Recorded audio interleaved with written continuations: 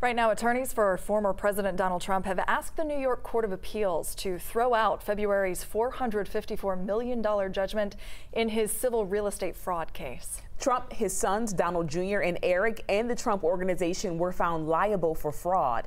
They were accused of overvaluing Trump properties and financial transactions, but undervaluing the properties for tax purposes.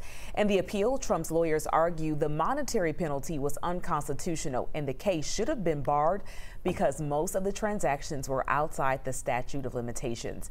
The appeals court could take up the case as soon as September.